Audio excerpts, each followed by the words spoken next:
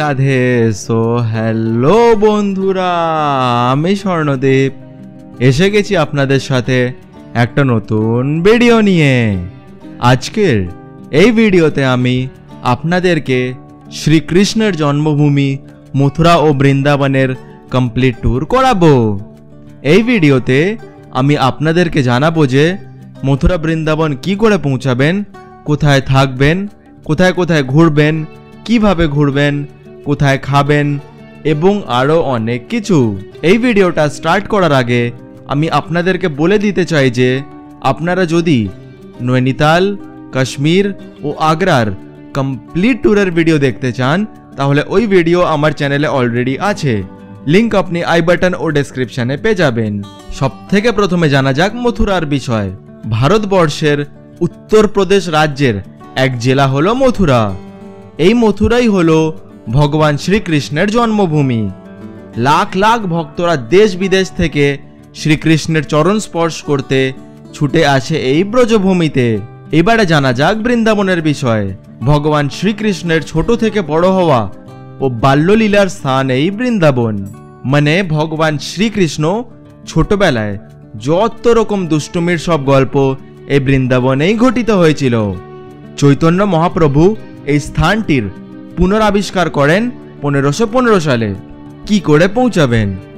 মথুরা বৃন্দাবন পৌঁছানোর জন্য আপনাদেরকে মথুরা জাংশন স্টেশনে নামতে হবে। কলকাতা থেকে ডাইরেক্ট মথুরার জন্য আপনারা সেরম বেশি ট্রেন পাবেন না। সো আপনারা চাইলে কলকাতা থেকে আগ্রা বা নিউ দিল্লি গিয়ে ওখান থেকে বাসে বা ট্রেনেও মথুরা আসতে পারেন।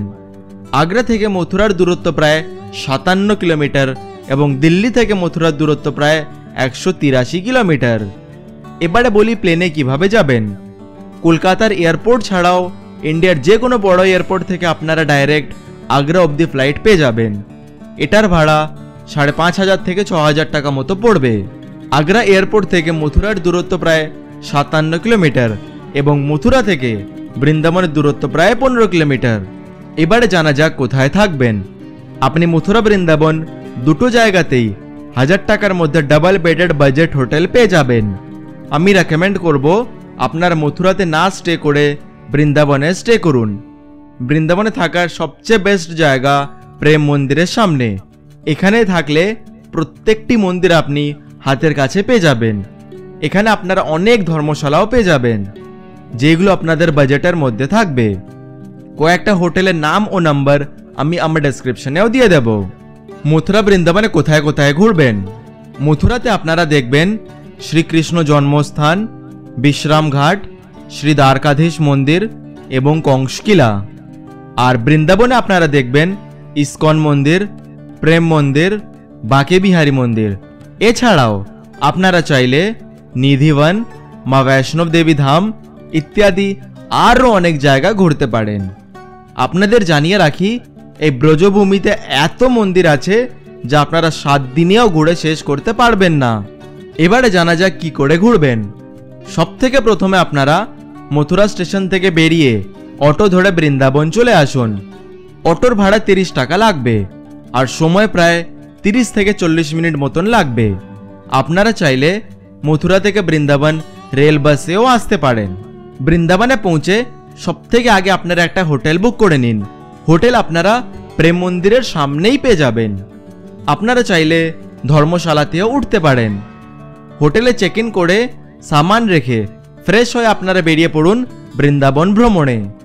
সব থেকে প্রথমে জানিয়ে দিই, মথুরা এবং বৃন্দাবনে প্রায় প্রত্যেকটি মন্দির দুপুর বারোটা থেকে বিকেল চারটে অবধি বন্ধ থাকে। হোটেল থেকে বেরিয়ে আপনারা চলে যান শ্রী বাঁকে বিহারী মন্দিরে। যা প্রেম মন্দির থেকে প্রায় তিন কিলোমিটার দূরে। আপনারা হোটেল থেকে বেরিয়ে অটোও পেয়ে যাবেন, যার ভাড়া শেয়ারিং বেসিসে তিরিশ টাকা মতো পড়বে। বাঁকে বিহারী মন্দিরে আপনারা শ্রীকৃষ্ণ ও রাধার এক মিলিত রূপ দেখতে পাবেন। আঠেরোশো চৌষট্টি সালে বাঁকে বিহারীর এই মন্দিরটির নির্মাণ করেন স্বামী হরিদাস, যিনি তানসেনের গুরুদেব ছিলেন। এর আগে নিধিবনে শ্রীকৃষ্ণর এই বাঁকে বিহারী রূপকে পুজো করা হতো। শোনা যায় যে, এই মূর্তিটি কারুর হাতে নির্মিত নয়, প্রভু স্বয়ং এই রূপে প্রকট হয়েছিলেন। এখানে আপনারা দেখবেন, ভগবান শ্রীকৃষ্ণকে একটু পরপরই পর্দা দিয়ে ঢেকে দেওয়া হয়। এখানে ভক্তরা ভগবান শ্রীকৃষ্ণকে দেখার পরে এত বেশি আকর্ষিত হন যে আপনার কল্পনারও বাইরে। ভক্তেরই ভালোবাসায় ভগবান শ্রীকৃষ্ণ যাতে এই মন্দির ছেড়ে চলে না যান, তার এই ধ্যান ছড়ানোর জন্যে বারবার পর্দা দেওয়া হয় বাঁকে বিহারী মন্দির সকাল সাতটা পঁয়তাল্লিশ থেকে দুপুর বারোটা এবং বিকেল সাড়ে পাঁচটা থেকে রাত্রি সাড়ে নটা পর্যন্ত খোলা থাকে এই মন্দিরে কোনো প্রবেশ মূল্য লাগবে না, আর ভেতরে ফটো ও ভিডিও তোলা বারণ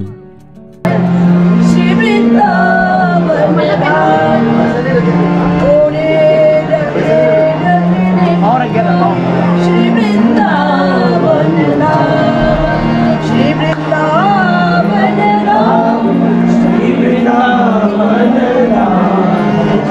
এরপর আপনারা চলে আসুন শ্রীকৃষ্ণ বলরাম মন্দিরে, যাকে ইস্কন মন্দির নামেও জানা যায়। স্বামী প্রভুপাদ উনিশশো পঁচাত্তর সালে এই মন্দিরটি নির্মাণ করেছিলেন। মন্দিরটি সাদা মার্বেল পাথর দিয়ে তৈরি এবং এই মন্দিরের ভেতরে ঢুকলেই একটা শান্তির আভা আপনি পাবেন। মন্দির প্রাঙ্গণে ঢোকার পরেই আপনারা হরে কৃষ্ণ হরে কৃষ্ণ কৃষ্ণ কৃষ্ণ, হরে হরে হরে রাম হরে রাম রাম রাম, হরে হরে। হরিনামের এই জপ আপনারা সারাক্ষণ শুনতে পারবেন।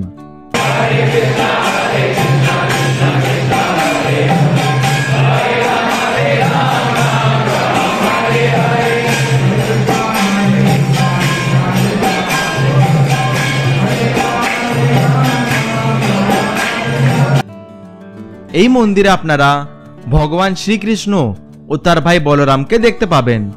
এর সাথে আপনার প্রভু শ্রীকৃষ্ণের সাথে রাধা ও তাদের গোপীদেরও দেখতে পারবেন। তার সঙ্গে আপনি মহাপ্রভু শ্রী চৈতন্য ও ইস্কনের প্রতিষ্ঠাতা স্বামী প্রভুপাদের মূর্তিও দেখতে পাবেন।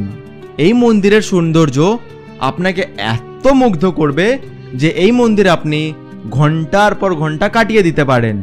মন্দিরটি ভোর সাড়ে চারটে থেকে দুপুর বারোটা পঁয়তাল্লিশ অবধি এবং বিকেলের চারটে চল্লিশ থেকে রাত্রি আটটা অবধি খোলা থাকে।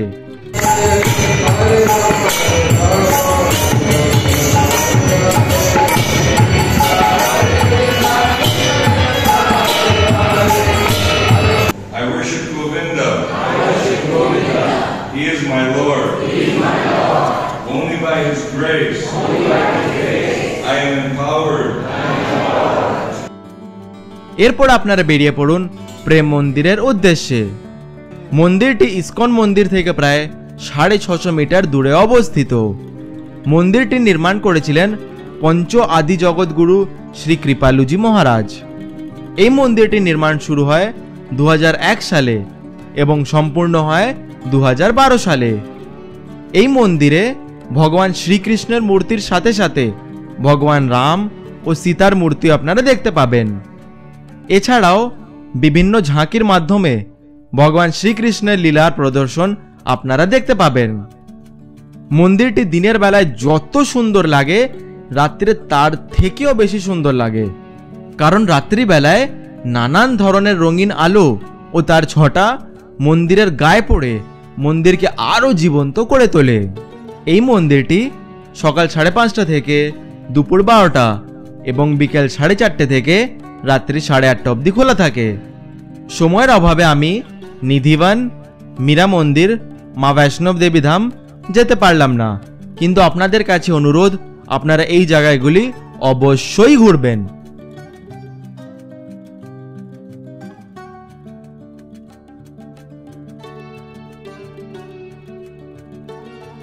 রাত্রিতে খাবার আপনারা প্রেম মন্দিরের বাইরে পেয়ে যাবেন। হোটেলে রাত্রিবাস করে পরের দিন সকাল সকাল বেরিয়ে পড়ুন মথুরার উদ্দেশ্যে। মথুরাতে আপনারা সব থেকে প্রথমে চলে আসুন শ্রীকৃষ্ণ জন্মভূমি মন্দিরে। শ্রীকৃষ্ণ জন্মভূমির মন্দিরের ভেতরে ক্যামেরা বা ফোন নিয়ে যাওয়া নিষেধ। মন্দিরের মেন গেটের ডান দিকে পুরুষদের লকার রুম ও বাঁ দিকে মহিলাদের লকার রুম রয়েছে। ব্যাগ রাখতে দশ টাকা এবং মোবাইল ক্যামেরা ইত্যাদি রাখতে দু টাকা নেবে। মন্দিরের ভেতরে আপনারা যে জেলখানাটি দেখতে পাবেন তার ভেতরেই শ্রীকৃষ্ণর জন্ম হয়েছিল এবং যে পাথরের ওপরে জন্ম হয়েছিল সেটাও রাখা আছে। আপনারা চাইলে এখানকার মহাভোগ গ্রহণ করতে পারেন, যা সম্পূর্ণ নিঃশুল্ক। ছোটোখাটো কেনাকাটি সেরে বেরিয়ে পড়ুন কংসকিলার উদ্দেশ্যে। শ্রীকৃষ্ণ জন্মভূমি থেকে মাত্র দশ টাকা ভাড়া দিয়ে টোটোতে পৌঁছে যাবেন কংসকিলায় যমুনা নদীর তীরে অবস্থিত এই কিলাটি রাজা কংস নির্মাণ করেছিলেন। বলে এটাকে কংসকিলা বলা হয়। দুর্গটির প্রায় অধিকাংশই ধ্বংসস্তূপে পরিণত হয়েছে। কংসকেলা দেখার পর আপনারা চলে আসুন বিশ্রামঘাট দেখতে। কংসকে বধ করার পরে শ্রীকৃষ্ণ ও বলরাম এই ঘাটেই বিশ্রাম নিয়েছিলেন। এই ঘাটে বসে আপনি যমুনা নদীর অপূর্ব সৌন্দর্যকেও অনুভব করতে পারবেন। চাইলে একটা নৌকা ভাড়া করে আপনি যমুনা বিহারও করতে পারেন। বিশ্রামঘাট থেকে হাঁটতে হাঁটতে চলে আসুন দ্বারকাধীশ মন্দিরে। এই মন্দিরটি সেট গোকুল দাস পারিক যিনি গোয়ালিয়রের কোষাধ্যক্ষ ছিলেন, তার দ্বারা আঠেরোশো চোদ্দ সালে নির্মিত হয়েছিল। এই মন্দিরে আপনি দ্বারকাধীশ, অর্থাৎ ভগবান শ্রীকৃষ্ণের অপরূপ সুন্দর একটি মূর্তি দেখতে পাবেন। এখানে ভগবান শ্রীকৃষ্ণ রাজা হিসাবে পূজিত হন।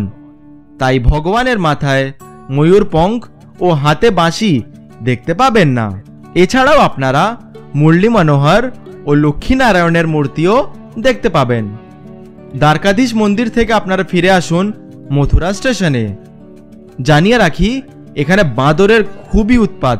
তাই আপনারা নিজের চশমা ও ব্যাগ এবং খাবার সাবধানে রাখবেন। এবারে জানা যাক মথুরা বৃন্দাবনে কোথায় খাবেন। বৃন্দাবন মার্কেটে আপনারা অনেক হোটেল পেয়ে যাবেন এবং স্ট্রিট ফুডও পেয়ে যাবেন। বৃন্দাবন প্রেম মন্দিরের সামনেও আপনি অনেক স্ট্রিট ফুডের রেস্টুরেন্ট পেয়ে যাবেন। মথুরার শ্রীকৃষ্ণ জন্মভূমি মন্দিরের ভেতরে নিঃশুল্ক ভোগের ব্যবস্থাও আছে। এই শ্রীকৃষ্ণ নগরীতে আপনি শুধু নিরামিষ খাবারই পাবেন। মথুরা বৃন্দাবন ঘুরতে আপনাদের কতদিন সময় লাগবে? আপনারা মথুরা বৃন্দাবন দুদিনে ঘুরে নিতে পারেন। প্রথম দিন আপনারা মথুরা থেকে বৃন্দাবন চলে যান এবং বৃন্দাবন পৌঁছে আপনারা বাঁকে বিহারী মন্দির ইস্কন মন্দির, প্রেম মন্দির ঘুরে এখানেই রাতটা কাটান। এরপর আপনারা বৃন্দাবন থেকে মথুরা চলে যান এবং ওইখানে শ্রীকৃষ্ণ জন্মস্থান, কনশকিলা, বিশ্রামঘাট, শ্রী দ্বারকাধীশ মন্দির হয়ে মথুরা স্টেশন ফিরে আসুন। এরপর আপনারা পরবর্তী গন্তব্যে বেরিয়ে পড়ুন। আপনারা মথুরা বৃন্দাবন ঘুরে চাইলে ব্রজভূমির গোবর্ধন, নন্দগাঁও, বরসানা ইত্যাদি শ্রীকৃষ্ণের সম্বন্ধিত জায়গাগুলো ঘুরতে পারেন। আপনারা চাইলে মথুরা বৃন্দাবন থেকে আগ্রা, নিউ দিল্লি ইত্যাদিও যেতে পারেন। এবারে জানা যাক মথুরা বৃন্দাবন কোন সময় গেলে ভালো হয়। মথুরা বৃন্দাবন ঘোরার বেস্ট সময় হলো হোলি বা দোলের সময়। এই সময় পুরো ব্রজভূমিতে আপনি রং এবং খুশির মহল চতুর্দিকে দেখতে পাবেন। সম্পূর্ণ ব্রজে প্রায় চল্লিশ দিন ধরে দোল খেলা হয়। আপনারা শীতকাল মানে অক্টোবর থেকে মার্চেও আসতে পারেন। বাকি বারো মাসে পর্যটকরা ভগবান শ্রীকৃষ্ণের টানে ছুটে আসে।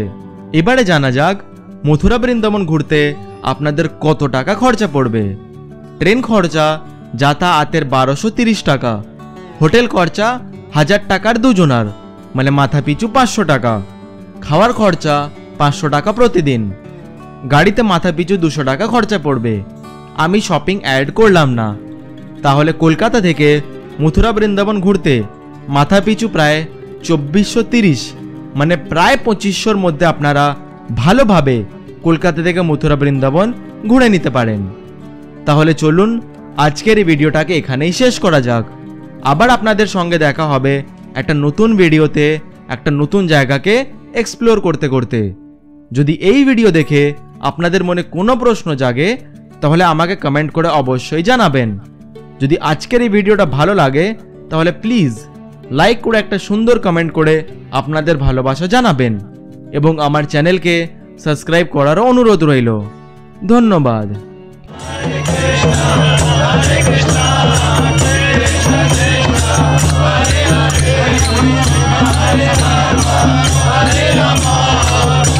Hare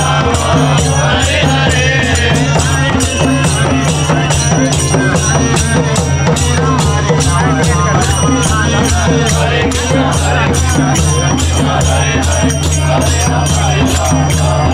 you.